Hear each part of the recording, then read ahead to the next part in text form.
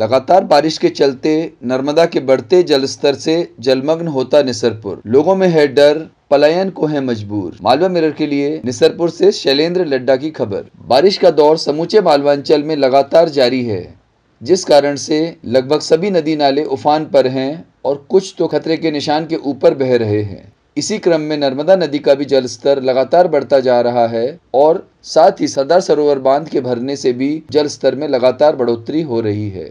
धार ज़िले के निसरपुर में तो स्थिति इतनी भयावह होती जा रही है कि सैकड़ों लोग पलायन को मजबूर हो गए हैं। ज्यो ज्यो यहाँ जल स्तर बढ़ रहा है निचले इलाकों में रहने वाले लोगों के मन में डर बैठता जा रहा है और वे धीरे धीरे पलायन को मजबूर होते जा रहे हैं। मालवा मिरर ने इस मुद्दे की तह में जाकर पड़ताल की और लोगों का दर्द देखा। साथ ही देखे जलमग्न पुल बस्तियाँ, खेत और वे इलाके जहाँ कभी जिंदगियाँ आबाद होती थीं। मालवा मिरर से बातचीत में संपत लाल मगरोलिया ने बताया। संपत लाल मांगरोलिया। कि मार्केट में पानी बढ़ रहा है, प्रशासन की क्या तैयारी है, कहीं समझ में नहीं आ रहा हम दुकानदार क्या करें। पानी बढ़ता जा रहा है, इसी स्थिति में हम यहाँ से दुकान उठा के कहाँ ले जाएँ? पुनर्वास में भी अभी तक दुकानें आवंटित ही नहीं है। हम लोग परेशान हैं, तीन साल से 2017 से 19 हो गया अभी तक दुकानों का कुछ भी नहीं हुआ तो आखिर हम जाए तो कहाँ जाए? एक अन्य रहवासी राजेंद्र पाटीदार ने बताया। पुनर्वास करने की मंशा भी तो होना चाहिए। पुनर्वास तो हो जाता कब का हो जाता। लेकिन ऐसा किसी ने सोचा ही नहीं।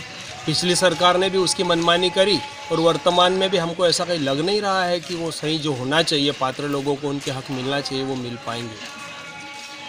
तो ऐसे में अब जो परिस्थिति बन रही है हम उसका सामना करके निपटने के लिए अपने आप को तैयार कर रहे हैं।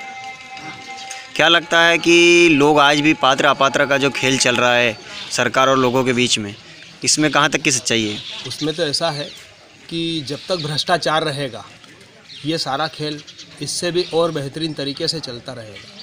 क्योंकि जीआरए जो फैसले हमारे पक्ष में देता है शासन प्रशासन उसको मानने को तैयार नहीं है। लेकिन हमारे विपरीत अगर जी ने कोई फैसला दिया है तो जी का हवाला देकर उसको बहुत बड़ी न्यायपालिका बताते हैं। जबकि वहाँ पर भी दलाल लोगों की भागीदारी मतलब उनकी सहमति से वो जो चाहे फैसले करवा लेते हैं। अपात्र लोगों को उन्होंने फ्लैट आवंटन करवा दिए खबरों से अपडेट रहने के लिए चैनल को सब्सक्राइब करें और नोटिफिकेशन बेल दबाएँ।